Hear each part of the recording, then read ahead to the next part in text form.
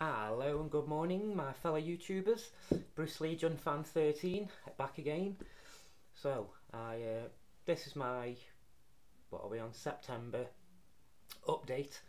So, got a few Blu-rays this time. I know I'm sort of like leaving it longer between updates, but I just think it's better uh, just to sort of like get them all in first, and then uh, you know show all the ones that I've gotten in between, sort of like working and whatever. So. Um, hope you're all doing well and uh, this is what I've got this time.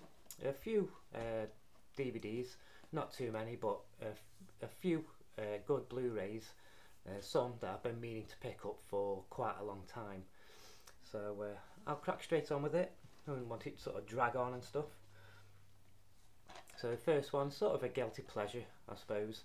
Um, Jason X or Jason 10 Friday the 13th 10 whatever you know um, you know a lot of people slate it and it's you know it does look sort of you know it's not as half as good as any of the others.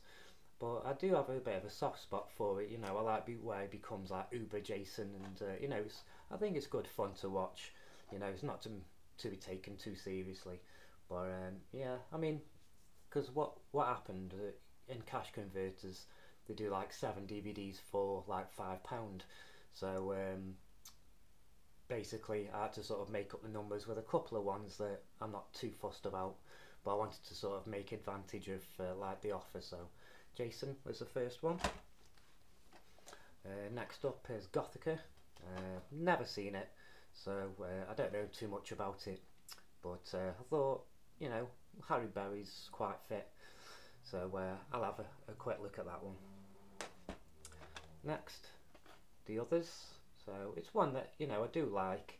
It's okay for a bit of a spooky Sunday afternoon, you know, when you're struggling for one or two things to watch or whatever. So, uh, you know, the others, it's not too bad. Next is Flatliners. Uh, so I really do like this one. I was going to get it on Blu-ray, but seeing as I was in, uh, you know, cash converters, I thought it's alright for, you know, uh, like a quid and stuff. Uh, I do like that one, really nicely made, and uh, you know some of you know my favourite actors in there. I do like Kiefer Sutherland, you know. And the next one is uh, Wes Craven's presents Mind Ripper. So Lance Henriksen, um, one or two others on Anchor Bay as well. So I do like collecting some Anchor Bays.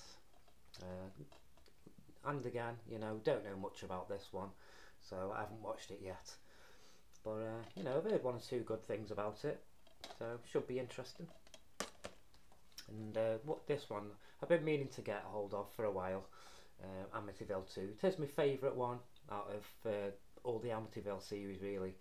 Uh, just because I do like the possession, uh, possession aspect of it. You know, um, you know, obviously it's got Paulie from the Rocky movies, and uh, you know, I do actually really like this one and it's uh, like a limited edition thing as well. I mean, you get a little, like, sort of quite a good little booklet and stuff, which uh, you don't usually get in pawn shops. Usually, you know, the insert's missing and stuff. But uh, glad to have uh, Amityville 2. So, onto the Blu-rays then now. And uh, like I say, there's a couple in here that I've been meaning to get for a good while. But uh, first one is uh, non-horror, the only non-horror that I'm going to show is uh, Ip Man 2. So I heard that this had gone uh, oop. I don't actually have Ip Man 1. I've seen them both a few times. And uh, as you know, I do like uh, Bruce Lee. It goes on, you know, and Donnie Yen is amazing, I think. He's really good in there. So I want to check some more of his movies out. But uh, great action, uh, really nicely staged and stuff, and good story. uh, the next one um, is Red Dragon. So uh, as you might remember from my last like update collection thing, I brought uh, Hannibal. So I'm only missing Silence of the Lambs now, and I think someone was on about Manhunter as well, but I'm not so familiar with that one. It's supposed to be the prequel, but I thought this was the prequel, so I could be wrong. But um, at the end, you know, right at the end, it says, you know, he says to Hannibal, I've got a girl, a woman here to see you, FBI. So I was thought straight away, um, you know, Agent Starling, Jodie Foster, uh, which would take all the way back round to Silence of the Lambs. So, I'm not sure, but uh, good movie. Enjoyed it more than Hannibal actually, and uh, yeah, pretty good one. Uh, next one, uh, I did really like. Um, just come across, I'd heard a couple of people talking about it, and uh, I thought this was brilliant. The Loved Ones, uh, Australian movie, um, nicely acted, and uh, you know the gore is good. You know, it's a mad story. You know, a guy turns a girl down to go to like a prom, and uh, basically she's a complete psycho uh, kidnaps him and the dad's involved and they do all sorts of weird and torture things to him and uh, you know you're really rooting for him towards the end you know it's uh, a really good one. I definitely recommend that if uh, you know you haven't seen it. Uh, next one I was quite happy to get and that is the house by the cemetery on uh, my favourite label Arrow. So obviously you get like your you know, all your bits and bobs, your DVD, your Blu-ray, uh, poster and booklet and all that kind of stuff, you know. I only saw this not long ago actually and um, on the horror channel and gotta say, you know, I'd uh, I really enjoyed it, you know, I did like it actually and uh, so I thought it was only like just over a fiver on eBay um, not brand new but like new so it's nothing at all no damage nothing you know so you know, I, I, was happy to get that one. Another arrow to that to the collection. Mm, good movie. Uh, next one, uh, La Fiancée de Chucky. It's uh, obviously the French import of Bride of Chucky. It's uh, quite hard to get hold of over here. Um, but um, did surprise me actually. Uh, picture uh, quality, really, really good. You know, very detailed. Uh, really, really nice to watch and it is one of me uh, you know I like the first Chucky I like this one. I'm looking forward to Curse of Chucky. Well I like them all in their own way but uh, glad to get this one. And the box set is coming out shortly as well so uh, keep an eye out for that one. And the next one is Grotesque. So uh, this was the only one on eBay actually. Um, I know uh, you know a couple of people had said to me to sort of check it out you know if you like hostels or um, exploitation movies and stuff like that and uh, they were saying to me like it's some real sick shit you know what I mean? Uh, so me and the missus watched it yesterday and uh, gotta say you know there is some shock value there.